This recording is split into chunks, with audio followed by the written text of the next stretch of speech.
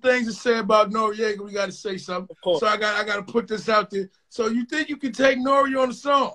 Listen, I would love to do a song with Nori. You know what I'm saying? Mm-hmm. Like I, I think we can we could make something crazy. But the thing that and and, and I'm sure you heard, you know, my response. Eh, you know, mm-hmm. if you think somebody got got the best of me on the mic, then that's fine. That's your opinion. I don't have a problem with that.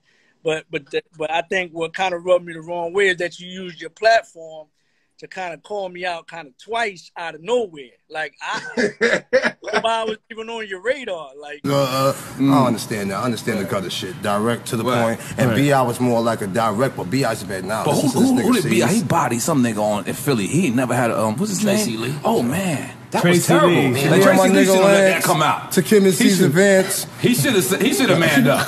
like somebody should have told him no. a big feature's not that important right now. It still worked. The feature still worked. Worked. Like you, Tracey Lee. I'm sorry. That song still worked. It killed him. Now that was more. You never heard from him again. Niggas said, "You let Big kill you." That record worked. That record worked. Speak in his defense. He's a lawyer. He He's quit a, rapping to, and went into. So he won. He won. He won. Helped him his career quit rap, turned into a lawyer. Yeah, that's He's gonna sue you now. No, I'm sorry. I'm just saying. I always was like, somebody still do music. He still do music. Yeah, I always was like, you know, I'm sorry, Trey Lee. I'm sorry.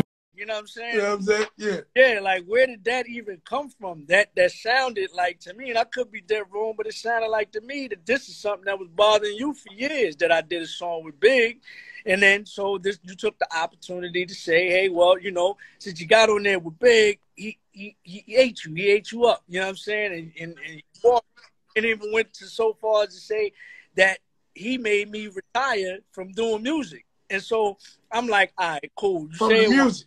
I yeah, ain't never heard that one. Yeah, yeah. He's like, yeah, man, cause cause the first time he said it, I think um not I think, but uh Jada was on the show along with Cease.